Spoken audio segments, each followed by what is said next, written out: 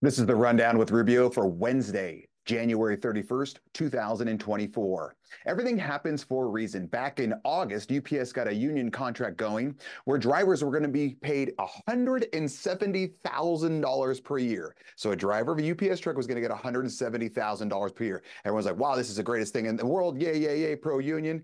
And now they're slashing 12,000 jobs to cut costs. Who, who didn't see this coming? You, you can't just, this is like raising the minimum wage in certain things like McDonald's and Burger King and all those places. Once you have to start paying people more, someone has to keep making their money. So if you're going to pay people more, then you're going to have to slash other costs. This was a no brainer. Who thought this was going to work? There are winners and losers in life. Democrat Representative Robert Garcia of California gave a speech stating that, quote, and I'm going to read this for you the Donald Trump and MAGA plan for the border is alligator moats, bombing northern Mexico, shooting migrants in the legs, and electrifying the fence and putting spikes on them. that seems a little bit aggressive. And the, the, best part is, people on the right are looking at this and going, eh, it sounds like a pretty decent plan if we're going to shut down the border. So this guy has this wild thing about moats and alligators and all that. And it's kind of backfiring because uh, everyone on the right's like, uh, not, a, not a bad deal, dude. Uh, accept and embrace. U.S. Navy veteran Michael Cassidy has been charged with a hate crime for beheading a statue of Satan at the Iowa Capitol. So this guy, there's a statue of Satan in the Iowa Capitol. He goes and boom, knocks it over, beheads it, and he has a hate crime. The irony of this is so thick and people are tearing down statues all over the country, basically in the DC area, a lot of them, and nothing happens to them. They're spray painting them, they're tearing them down, they're beheading them, they're removing them, and no one gets charged with a hate crime at all. The, the, these are on video. Like, I mean, there's no doubt about it. You can see cops literally just watching them.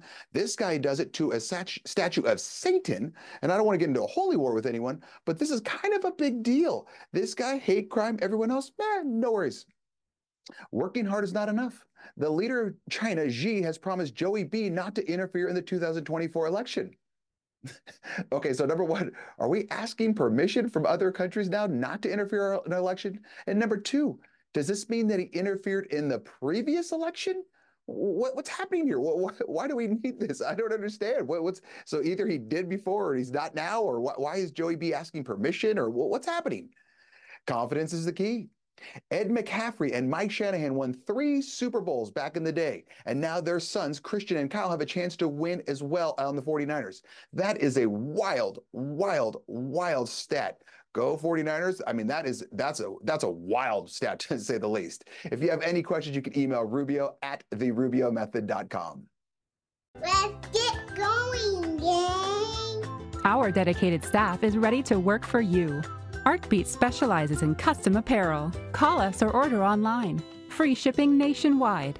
Custom printed shirts are our specialty, and we make sure you get exactly what you want. Bring in your own design or let our team create one for you. Promote your business, event, or club with pens, caps, bottles, mugs, and more. Creating cool since 1985.